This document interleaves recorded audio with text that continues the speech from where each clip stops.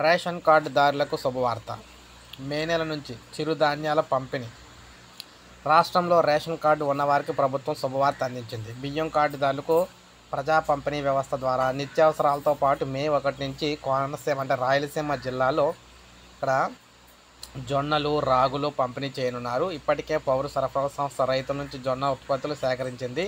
కర్ణాటక ప్రభుత్వం నుంచి ఎఫ్సిఐ ద్వారా రాగులు కొనుగోలు చేస్తున్నారు. అయితే కాకుండా అంతేకాకుండా ఈ పంట ఉత్పత్తులను రైతుల నుంచి నేరుగా కొనుగోలు చేస్తుంది. సో పీడిఎస్ ద్వారా పేదలకు కూడా పౌష్టికాహారం ఉత్పత్తులను అందించాలనే లక్ష్యంతో ప్రభుత్వం నిర్ణయం తీసుకుంది. సో మొత్తం మేము చూసుకున్నట్లయితే స్థానికంగానే రైతుల నుంచి చిరుధాన్యాలు ఉత్పత్తి చేసే వారి దగ్గర తీసుకొని ఇవి పంపిణీ చేస్తారన్నమాట.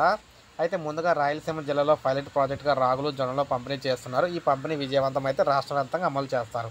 కేంద్రం కూడా చిరుధాన్యాలకు ప్రాధాన్యం ఇస్తుంది. చిరుధాన్యాలు ఏడాదిగా ప్రకటించే సంగతి అందరికీ తెలిసిందే. ప్రజలకు కూడా బియ్యం కంటే రాగులు జొన్నలు పౌష్టికాహారంగా భావిస్తున్నారు కాబట్టి అవి అయితే ఇవ్వాలని భావించారు. అయితే మొత్తం మీద చూసుకున్నట్లయితే ఇక్కడ గోధుమ పిండి కిలో పదహారు రూపాయలు చొప్పున కార్డుకు గరిష్టంగా రెండు కిలోలు సరఫరా చేస్తున్నారు. అయితే గోధుమను రాష్ట్ర వ్యాప్తంగా పంపిణీ చేసేందుకు వినియోగదారుల నుంచి ఐవీఆర్ఎస్ ద్వారా కూడా అభిప్రాయాలు అయితే సేకరించారు. ఇక్కడ ప్రతి నెల ఇచ్చే రేషన్లోకి కేజీ బియ్యం బదులుగా ఉచితంగా గోధుమ పిండి ఇచ్చేలా పౌర సరఫరా శాఖ ప్రతిపాదన అయితే చేసింది. ఉత్తరాంధ్ర జిల్లాలో పంపిణీ ప్రారంభమైంది. రాష్ట్రంలో బయట మార్కెట్లో కిలో గోధుమ పిండి నలభై రూపాయలు ఉంటే ప్రభుత్వం మాత్రం పదహారు రూపాయలకి అందిస్తుంది. అలాగే పీడిఎఫ్ అవసరాల కోసం నేరుగా రైతుల నుంచి వచ్చే ఖరీఫ్లో కందులు సేకరించాలని కూడా భావిస్తుంది.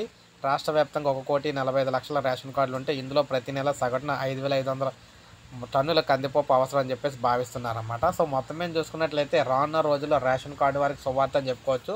ఎలక్షన్స్ ఇయర్ కాబట్టి వచ్చే ఇయరు. ఈ లోపలనే కొత్త కొత్త సరుకులన్నీ కూడా పంపిణీ చేయబోతున్నారన్నమాట. ఇక మొత్తం చూసుకున్నట్లయితే గతంలో తొమ్మిది రకాల సరుకులు ఏవైతే పంపిణీ చేశారో ఆ విధంగానే రాష్ట్ర ప్రభుత్వం అయితే అడుగులు అయితే వేస్తుంది. సో ఇది ఫ్రెండ్స్ వీడియో. నేను అసలు లైక్ చేయండి సబ్స్క్రైబ్ చేసుకోకపోతే మన ఛానల్ సబ్స్క్రైబ్ చేసుకొని ఫాలో అవుతుంది